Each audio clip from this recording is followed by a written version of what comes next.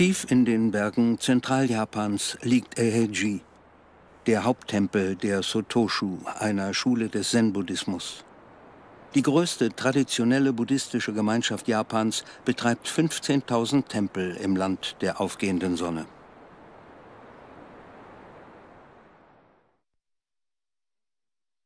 Der Eiheiji wurde 1244 vom buddhistischen Mönch Dogen Zenji gegründet, der während seines Aufenthalts in China den Zen-Buddhismus kennengelernt hatte. Nach seiner Rückkehr errichtete er in der heutigen japanischen Präfektur Fukui den Eiheiji, den Tempel des ewigen Friedens, von wo aus er die Lehre des Zen verbreiten wollte. Mehr als 200 Mönche widmen sich in diesem Tempel den Praktiken des Zen-Buddhismus.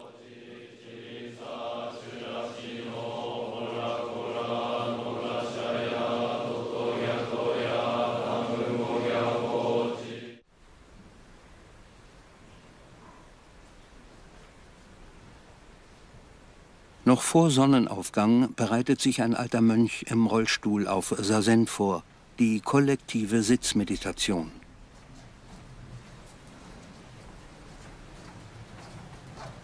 Es ist Ekiho Miyazaki, der Abt des Tempels.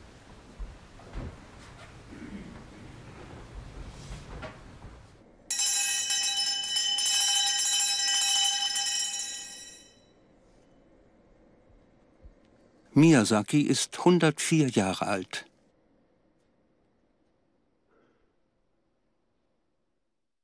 Im Alter von elf Jahren wurde er Zen-Novize. Seit 93 Jahren praktiziert er nun schon Sazen Tag für Tag.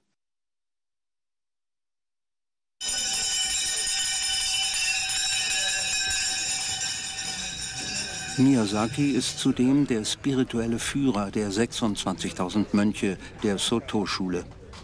Sein Leben lang blieb er den Lehren des Religionsstifters und Gründers von Heiji, Dogen, treu. Sazen ist für ihn eine Lebenseinstellung, die auch im Alltag ihre Berechtigung hat. Dogen hat uns den rechten Weg gezeigt. Durch die Sitzmeditation lernen wir, unsere Aufmerksamkeit allein auf die Gegenwart zu richten. Doch das ist nicht einfach, denn unser Denken dreht sich ständig um Ehre, Status, Eitelkeit, Egoismus und ähnliche Dinge. Wir müssen lernen, uns von unseren Illusionen zu befreien. Dabei hilft uns Sazen.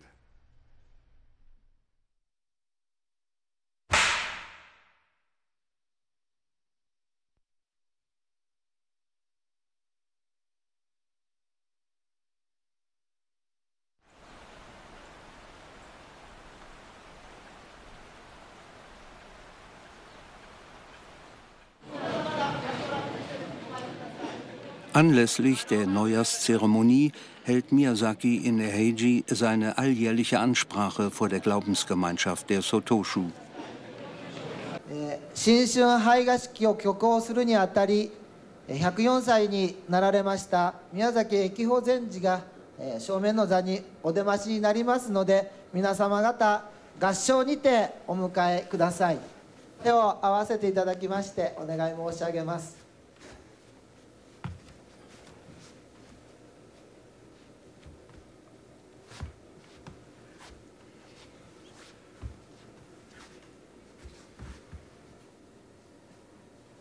Miyazaki ist der 78. Abt nach Dogen.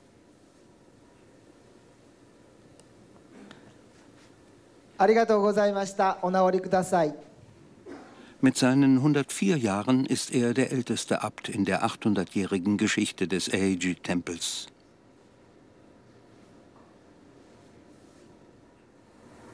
Ja,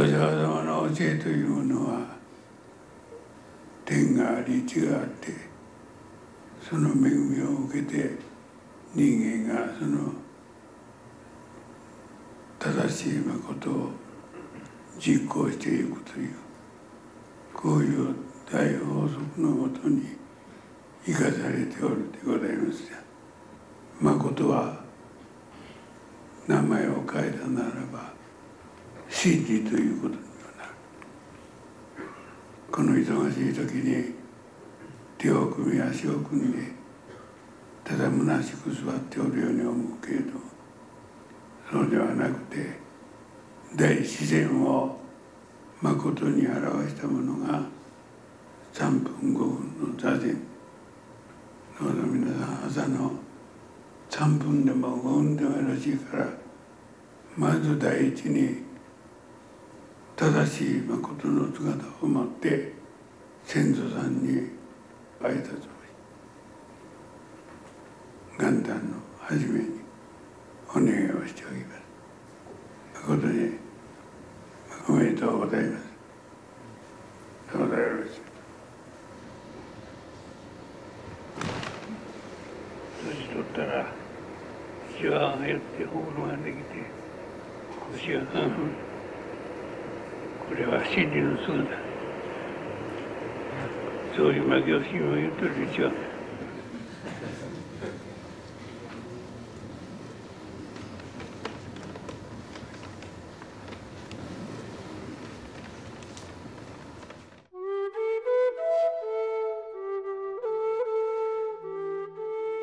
Die sieben Hauptgebäude des Erhei-Tempels darunter auch die Säle für die Sazen-Meditation und das Rezitieren von Sutren, sind durch lange Treppenhäuser miteinander verbunden.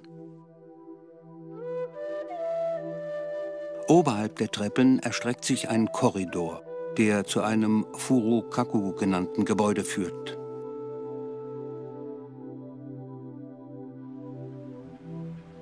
Hier wohnt der Abt.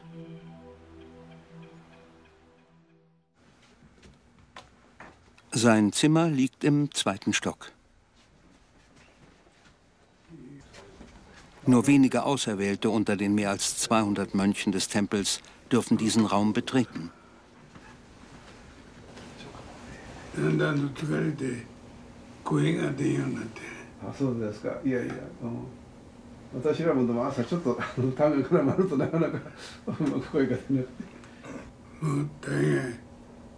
100歳超えたらみんな寝とる。そうです本当に。もう寝込んだら全部ダメやから、昼は寝んことにして。あそうなんですか。ねジェイさん結構長いお座りですが別に足がしびれてきてというのはそういうこともございませんでそうやね。ええ妙なもん突き出してきた。あこれ今なんか音を拾ってるようなんですけど、うんテレビどこでもついてくね。見にくいとこ撮んなよ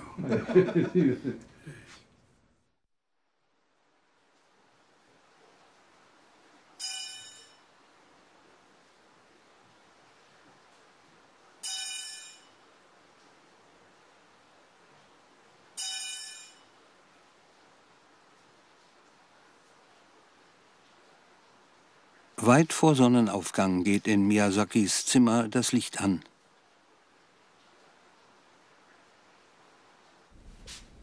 Miyazaki hat sich schon darauf vorbereitet, in den Meditationssaal zu gehen.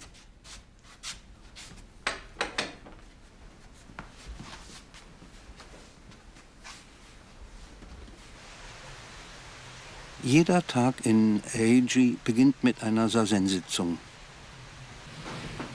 Als Elfjähriger verbrachte Miyazaki seinen ersten Morgen mit Sitzmeditation und tut dies täglich seit nunmehr 93 Jahren.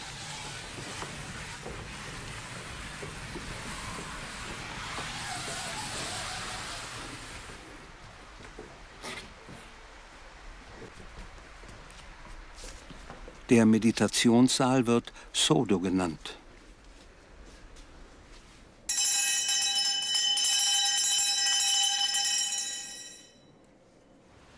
Wenn Miyazaki zur Meditation bereit ist, werden die jungen Mönche mit einer Glocke geweckt.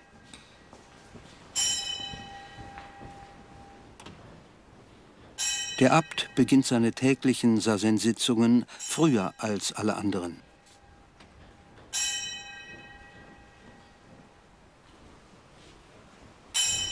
Dazu lässt er sich im Lotussitz nieder, einer Meditationshaltung, die ursprünglich aus Indien stammt.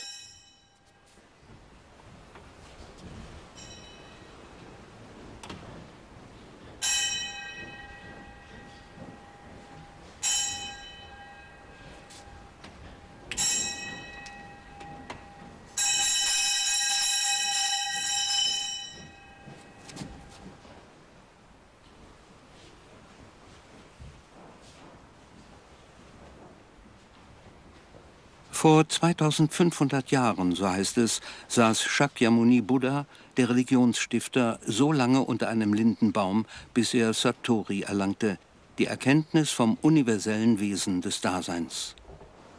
Zen-Buddhisten meditieren in derselben Sitzhaltung wie Buddha.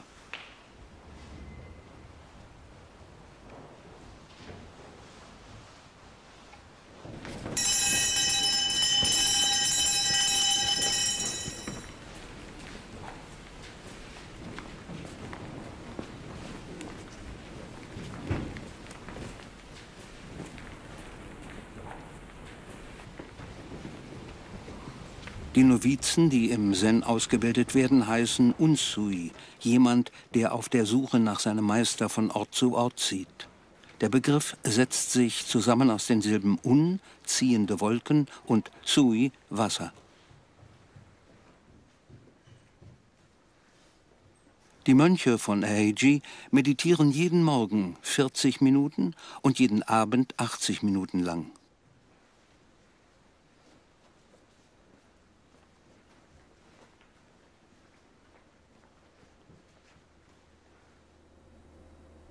Unsui, die noch wenig Meditationspraxis haben, verlieren manchmal ihre Haltung, weil sie schläfrig werden oder weltliche Gedanken zulassen.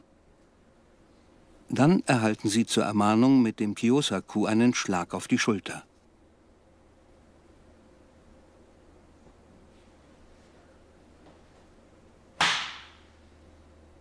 Danach müssen sie sich wieder auf ihre Meditation konzentrieren.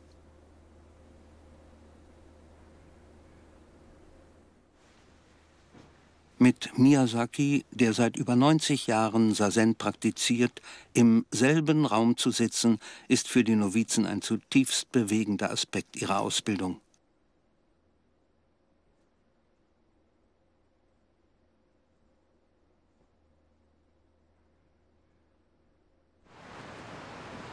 Was bringt die Zen-Meditation eigentlich unserem Geist? Um eine Antwort auf diese Frage zu erhalten, haben wir den Schriftsteller und Buddhismusexperten Huai Tatematsu gebeten, den altehrwürdigen Abt zu interviewen. Seit sechs Jahren schreibt Tatematsu an einem Roman über Dogen. Schon mehrmals war er Gast im Kloster, um Abt Miyazaki über die Lehren des Zen zu befragen.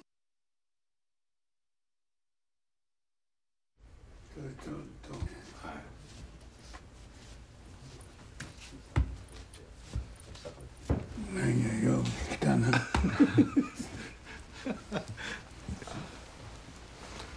どうもごご無沙汰いたしましてあんたお忙しいいえいえそんなことはもうもう今日は楽しみで参りました Tatematsu will den Abt nicht nur über die Bedeutung von Zen im Alltag befragen, sondern auch über dessen 104 Lebensjahre. Woran denken Sie? Und ich glaube, das machen Sie ja immer wieder beim Meditieren. An nichts. An gar nichts? Meditation ist keine Tagträumerei. Sie dient dazu, weltliche Gedanken zu verdrängen, indem man sich allein auf die Atmung konzentriert. Jeder weitere Gedanke wäre überflüssig. Auch ich meditiere ab und zu. Dabei springen aber immer wieder Gedanken in meinem Kopf auf, wie Unkraut in einem Garten. Unser Denken dreht sich ständig um Ehre, Status, Eitelkeit, Egoismus und ähnliche Dinge. Wir müssen lernen, uns von unseren Wünschen und Illusionen zu befreien. Dabei hilft uns Sazen. Sie meinen also, wir können unsere Wünsche verdrängen, wenn wir im Sitzen meditieren? Man tut nichts weiter als atmen. Im Sazen haben Gedanken keinen Raum. Sazen bedeutet Gradlinigkeit. Man sitzt mit geradem Rücken und Nacken da und lehnt sich nicht zur Seite. Wenn dein Körper geradlinig ist, wird auch dein Geist geradlinig.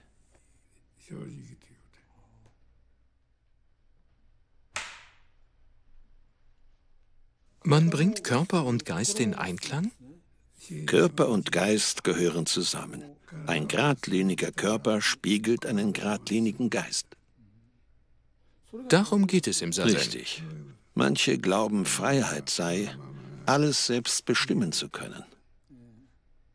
Ich finde es jedoch wichtiger, seinen Geist durch einen regelmäßigen Tagesablauf zu befreien.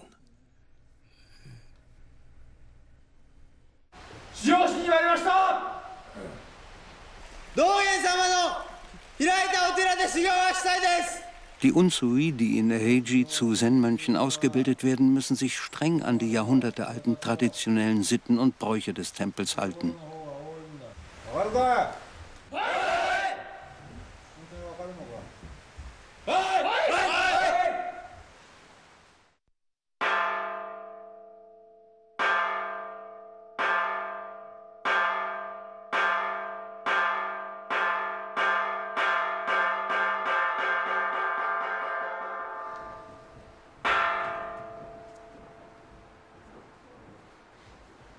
Die Ausbildung in Heiji umfasst sämtliche Bereiche des Lebens. Dazu gehören auch die Tischmanieren.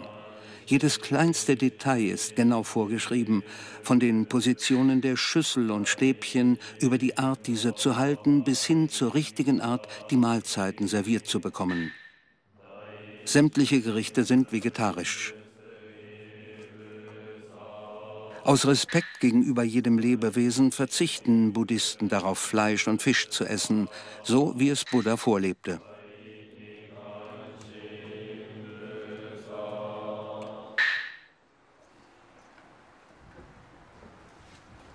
Gegessen wird in aufrechter Haltung mit gespreizten Ellenbogen und ohne jegliches Geräusch.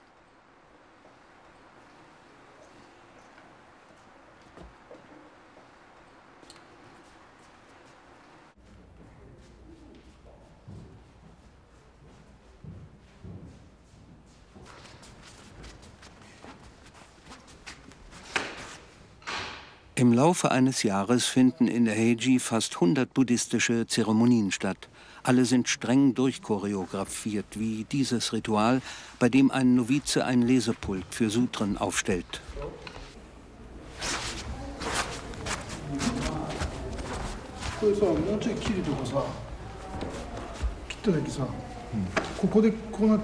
Mhm.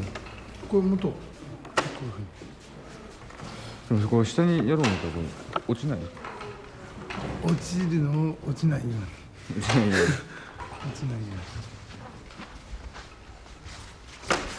そうそうそうそう Die Rituale in Heiji wurden vor vielen Jahrhunderten entwickelt und werden sorgsam gepflegt und weitergegeben.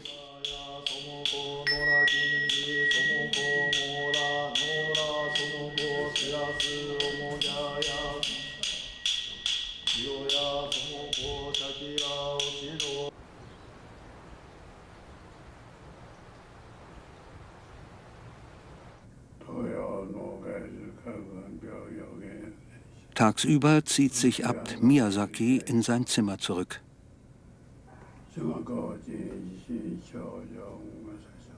Nur die Mönche, die ihn bedienen, wissen, wie er seine Zeit dort verbringt.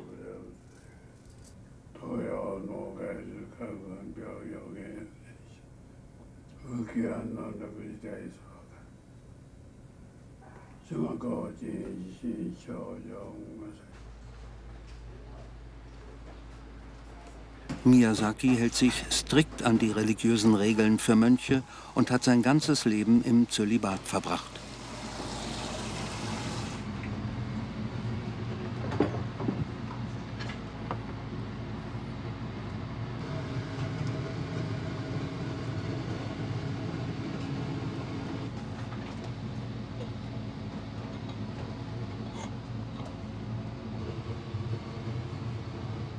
Die Zubereitung der Mahlzeiten für den Abt gehört zum Tagwerk der Mönche, die ihm als Kammerdiener zur Hand gehen.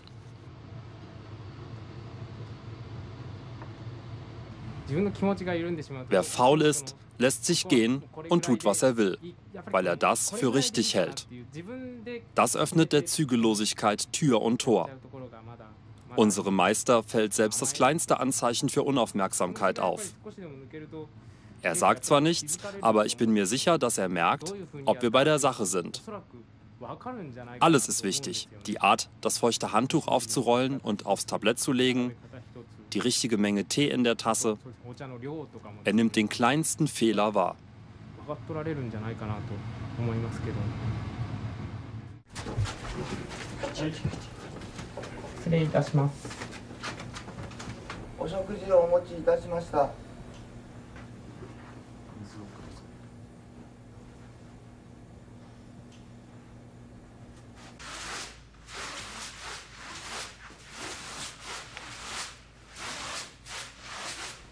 Jede Alltagstätigkeit in Eiji ist Teil des mönchischen Lebens und im religiösen Kontext auszuführen. Auch das Putzen. Täglich wird im Furukaku sorgfältig aufgeräumt und sauber gemacht.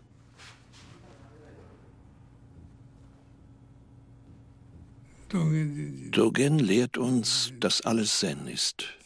Sie mögen glauben, Zen sei etwas Besonderes. Aber das stimmt nicht. Zen bedeutet, unser Sein mit unseren Taten zu vereinen. Gehen ist Zen. Reden ist Zen. Heißt das, Sazen ist das Sitzen an sich? Können wir sämtliche Aspekte des Lebens als Zen betrachten? Ja, das können wir. Seine Schuhe auszuziehen ist ebenfalls eine Form der Zen-Meditation.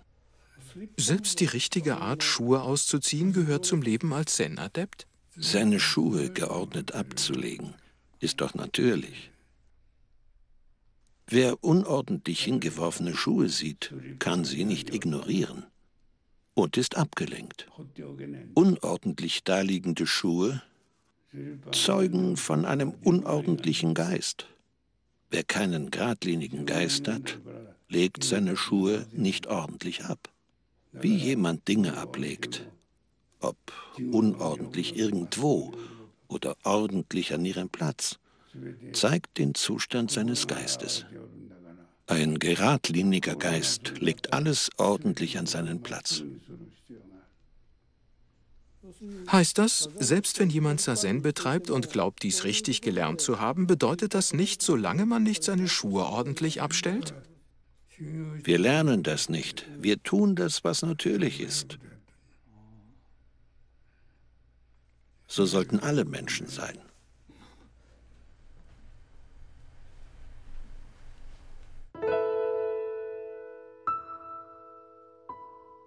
Miyazaki wurde in sehr jungen Jahren von seiner Mutter getrennt. Sein Vater erlag einer Krankheit. So kam er mit elf Jahren als Novize in einem Zen-Tempel unter, wo er von seinem späteren spirituellen Mentor Gindo Koshio ausgebildet wurde.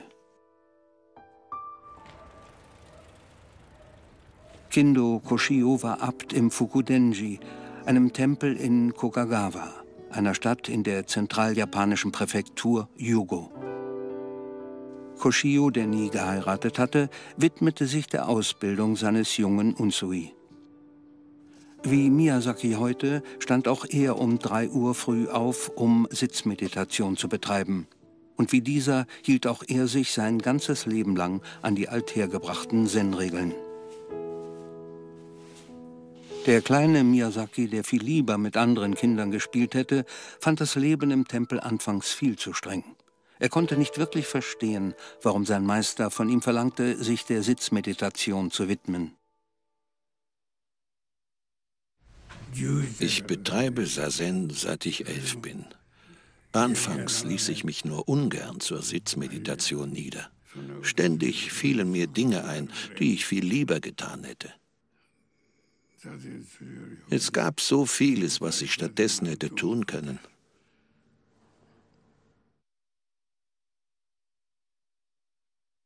Miyazaki wollte unbedingt studieren und schrieb sich trotz des Widerstands seines Meisters an einer Universität ein. Er war immer noch skeptisch gegenüber der Sitzmeditation und den strikten Regeln des Zen.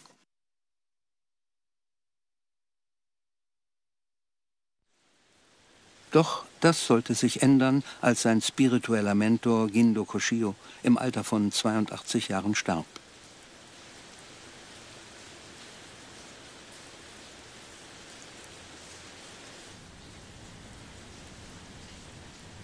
Miyazaki, damals ein junger Mann von 29 Jahren, wachte eine ganze Nacht lang neben Koshios Leichnam und erinnerte sich an die Zeit, die er als Novize mit seinem Meister verbracht hatte.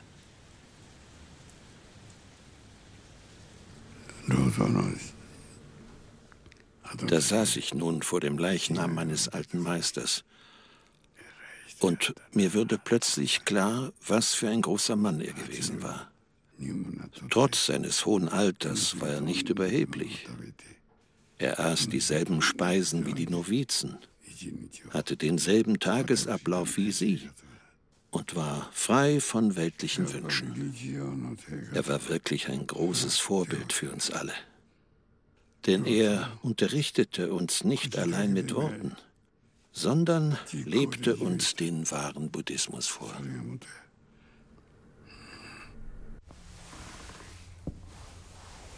Im Fukuden-Tempel, in dem Miyazaki zum Mönch ausgebildet wurde, werden einige Erinnerungsstücke an Koshio aufbewahrt, darunter sein schlichter Baumwoll-Kimono.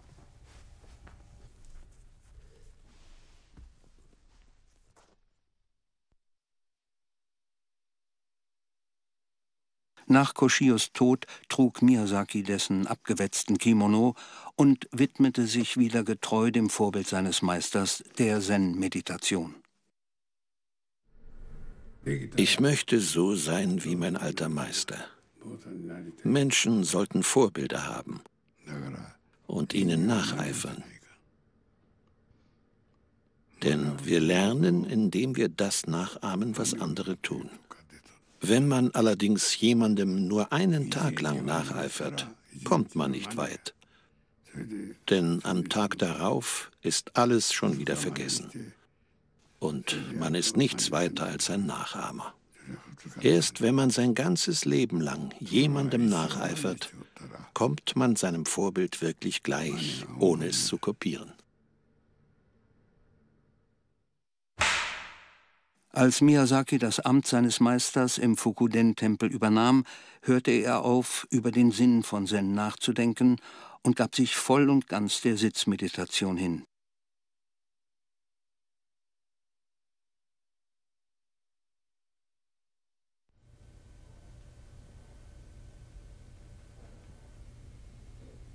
Der altehrwürdige Abt des Eheji-Tempels widmet sich bis heute seinen täglichen Exerzitien. Zur Hand gehen ihm dabei einige jüngere Mönche, so auch Teskyu Kawase.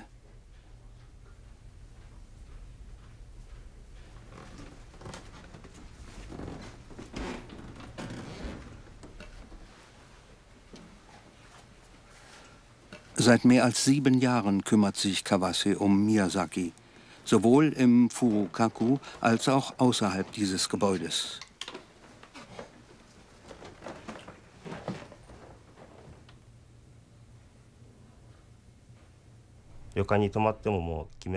Unser Meister steht immer sehr früh zur gleichen Zeit auf und praktiziert Sassen.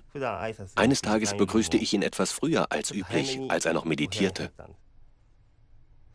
Als ich meinen Meister meditierend da sitzen sah, sagte ich mir, ich sollte ihn mir zum Vorbild nehmen. Aber ich bin manchmal so müde, dass ich nicht regelmäßig meditieren kann. Doch die Taten meines Meisters inspirieren mich dazu, es immer wieder zu versuchen.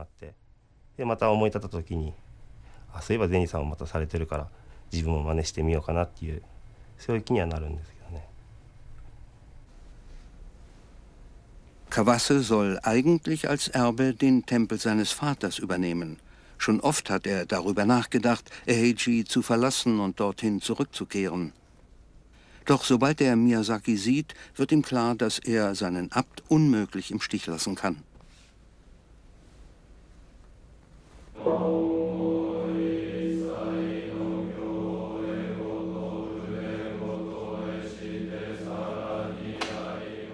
Nach der Morgenmeditation rezitieren alle Mönche gemeinsam Sutren und nennen in der zeitlichen Reihenfolge die Namen aller Äbte des Tempels, die einander in der Vermittlung der Lehre Buddhas ablösten.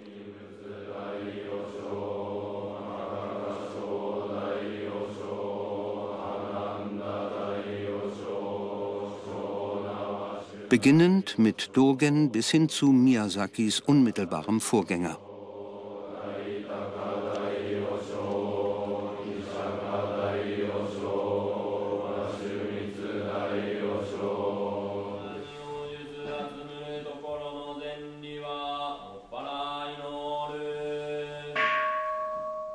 Buddhas Lehre ist gut 2500 Jahre alt. Aufgabe jedes Abtes ist, diese Lehre der nächsten Generation zu übermitteln.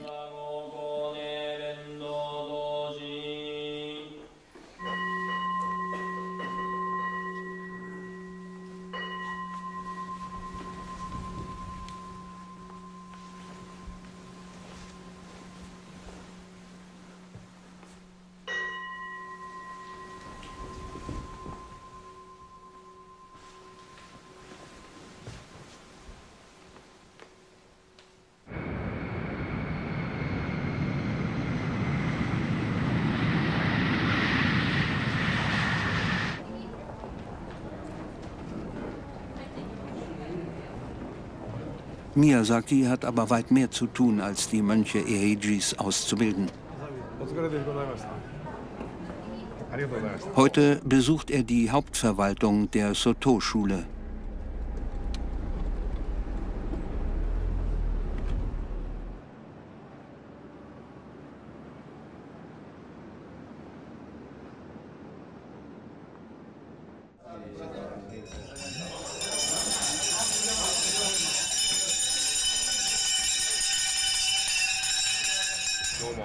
Denn Miyazaki ist auch das religiöse Oberhaupt dieser buddhistischen Glaubensrichtung.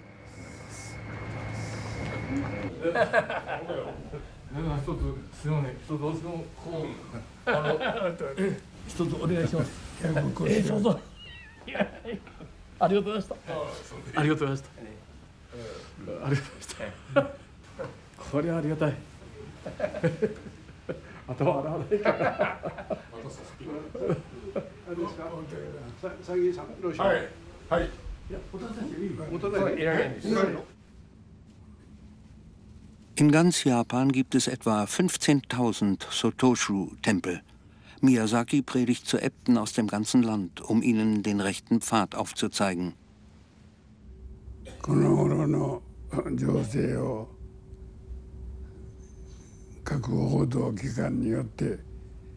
検問してみますというと大衆に範を示さなければならない位置におる位置を占めておる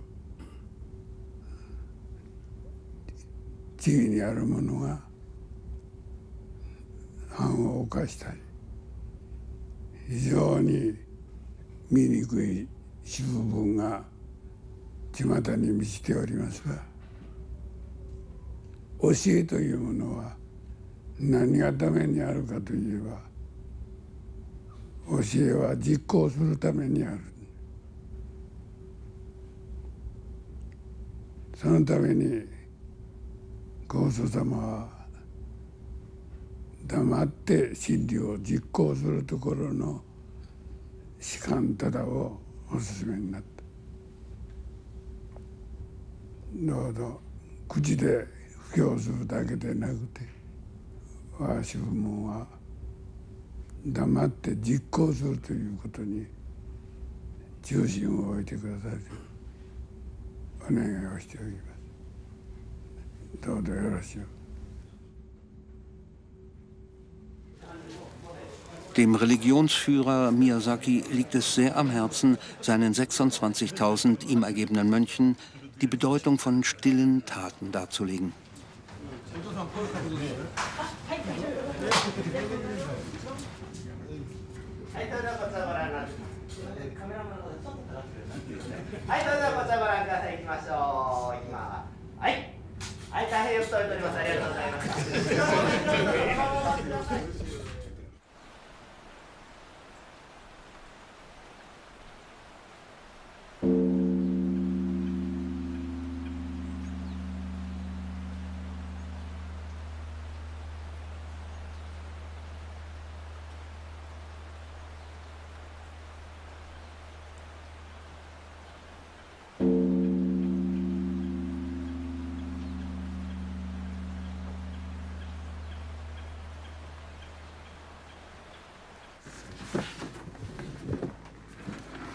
Im Furukaku von Heiji geht es heute außergewöhnlich hektisch zu.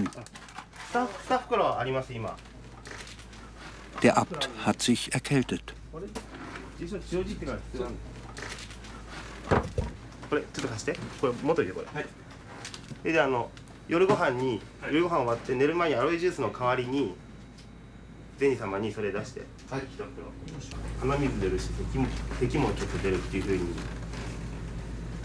ええすごいな、ええ、早めに飲んでもらって、うん、お薬だけ今あのー、なんとか違うあの水で入れてそう一袋しかないんです残りが、うん Die Mönche um Miyazaki sorgen sich nicht nur wegen dessen fortgeschrittenen Alters, sondern auch, weil der Abt nur noch einen gesunden Lungenflügel hat.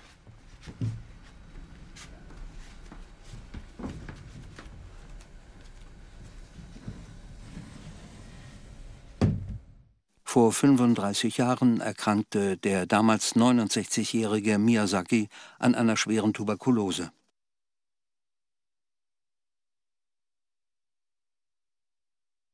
Ich dachte, mein Ende sei gekommen. Ich konnte nichts sehen. Erst nach einiger Zeit sah ich ganz verschwommen die Umrisse der Holzvertäfelung an der Decke. Ich war so schwach, dass es mir egal war, ob ich sterbe oder nicht. Ich hatte solche Schmerzen.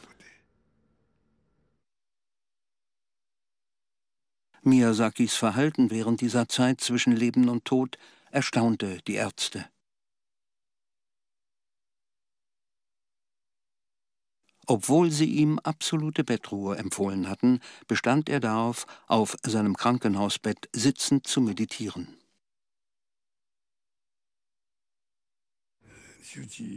Die Ärzte und Krankenschwestern rieten mir davon ab.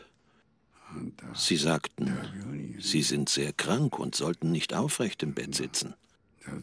Ich sagte, na gut, und legte mich wieder hin.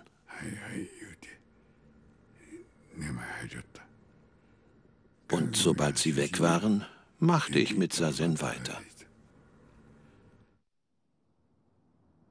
Über drei Jahre und vier Monate lang war Miyazaki im Krankenhaus. Jeden Morgen schaute er beim Meditieren aus dem Fenster.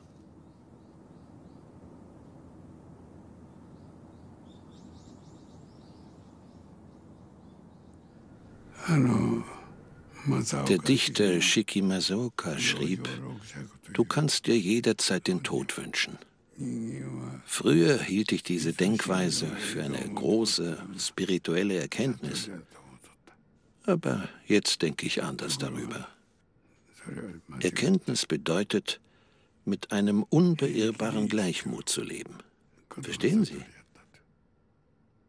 Es ist schwierig, solch einen Gleichmut zu erlangen und zu bewahren.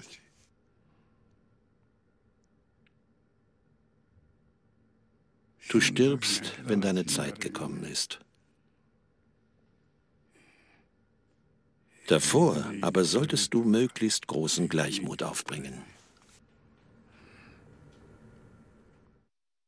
Nach seiner Entlassung aus der Klinik kehrte Miyazaki sofort nach Eheiji zurück, um dort wieder mit den jungen Unsui zu meditieren und mit ihnen auf der Suche nach Almosen durch die Stadt zu ziehen.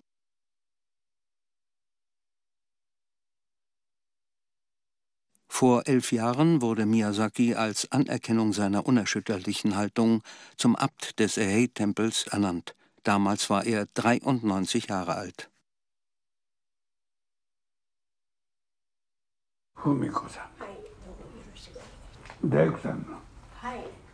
Heute besuchen einige Frauen aus der Region Miyazaki im Furukaku.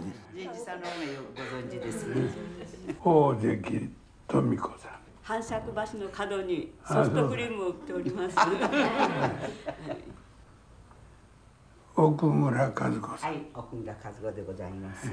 この門前通りの Miyazaki findet für jede seiner Besucherinnen ein paar persönliche Worte.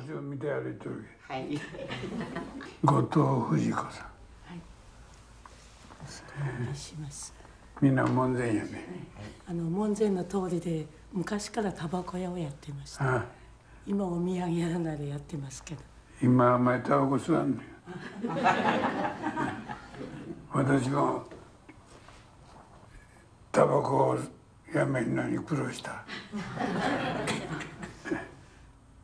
一人でやめられるもんやから三人組を組んで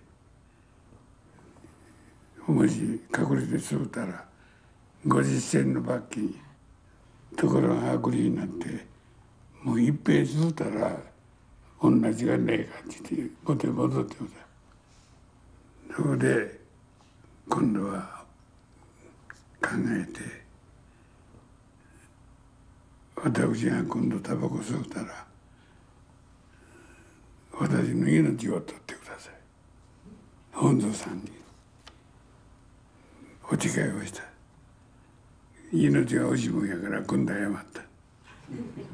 それは30歳だから人間は命がけやったら何でもできるなと思った。であと皆さんなんかやめたいと思うことがあったら命がけでやってください。どうぞお茶をあり。はい、ありがとうございます。皆さん方は門前でおられるから優しい上にもう一つ優しい来る人に優しい心を分けてくださ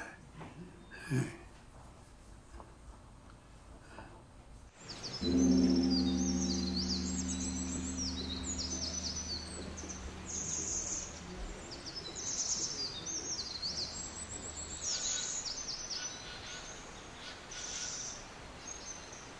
Wenn Miyazaki nicht meditiert oder Sutren rezitiert, widmet er sich in seinem Zimmer weiteren buddhistischen Praktiken.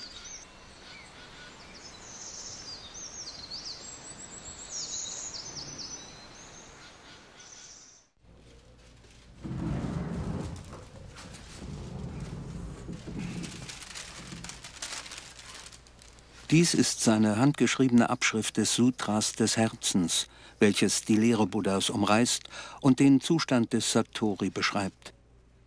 Der Erkenntnis vom universellen Wesen des Daseins, die einen von allem befreit. Kurz vor seiner Ernennung zum Abt begann Miyazaki, sich in Shakyo zu üben, der Abschrift der Sutren, in seinem Fall des Sutras des Herzens.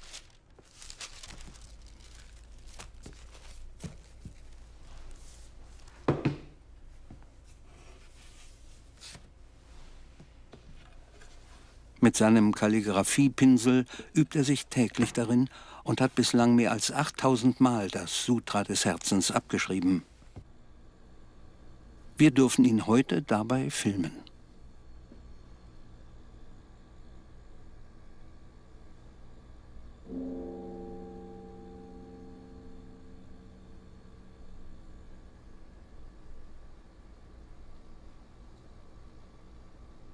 Zwei bis dreimal täglich kopiert er die 262 Schriftzeichen des Sutras.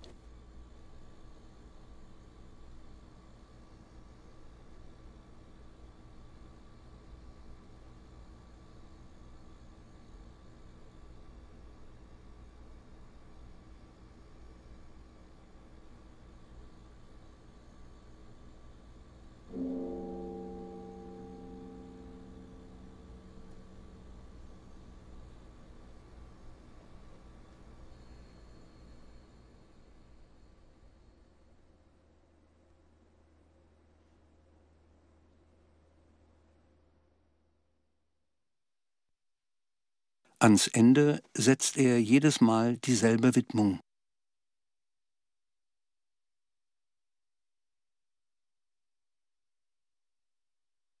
Möge der Verdienst hiervon alle Dinge aller Orten durchdringen, damit wir und jedes Wesen gemeinsam Buddhas Pfad folgen können. Mit der täglichen Abschrift des Sutras bittet Miyazaki um ein friedvolles Leben für alle Geschöpfe auf der Welt.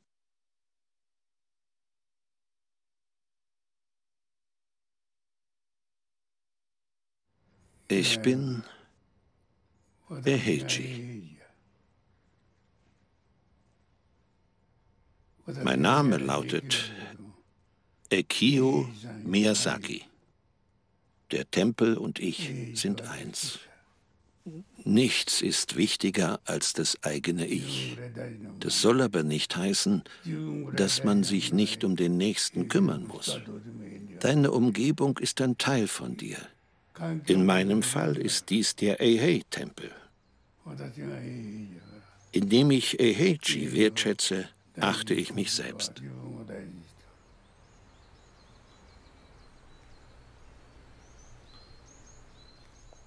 Wie schön die Vögel singen. Eiheiji kommt mir vor wie ein Teil der Natur. Es ist ein wunderschöner Ort.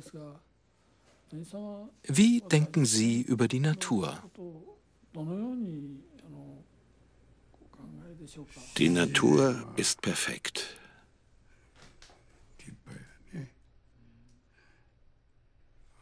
Ich führe ein Tagebuch, in dem ich notiere, an welchem Tag, welchen Monats, welche Blume blüht, welche Vögel singen oder die Grillen zirpen. Jahr um Jahr liegen diese Daten kaum auseinander. Diese Regelmäßigkeit ist ein Naturgesetz. Alles, was dem Gesetz der Natur folgt, ist Natur. Weil dem so ist, sollten die Menschen in ihrem Leben den Gesetzen der Natur gehorchen.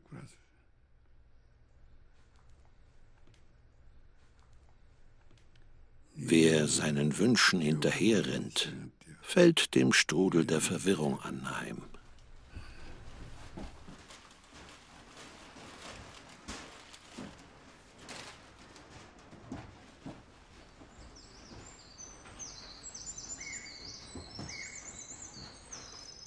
In der Natur jedoch findet sich die Wahrheit.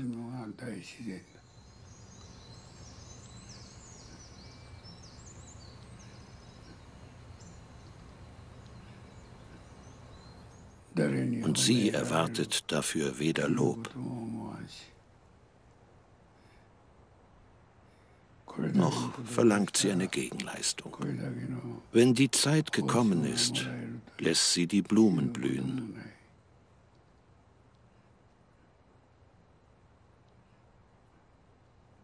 Und tut still und leise, ob man sie dafür lobt oder nicht, das, was zu tun ist. So wie wir mit unserer Meditation und unseren Praktiken.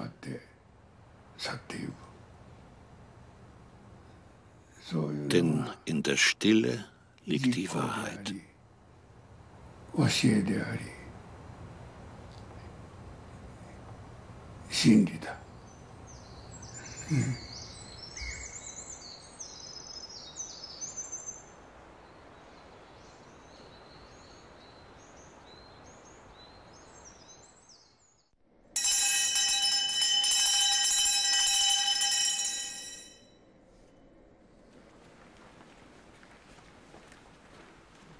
An seinem 104. Geburtstag rezitiert Miyazaki ein Gedicht im chinesischen Stil, in dem er sein Leben allegorisch mit einem Pflaumenbaum vergleicht.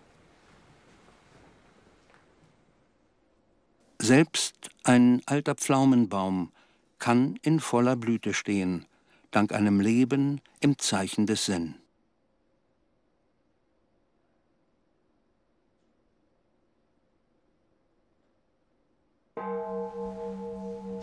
Ekiho Miyazakis Amt als 78. Abt des Ehei-Tempels endet erst mit seinem Tod. Bis es soweit ist, widmet er sich weiterhin Tag für Tag seinen buddhistischen Praktiken.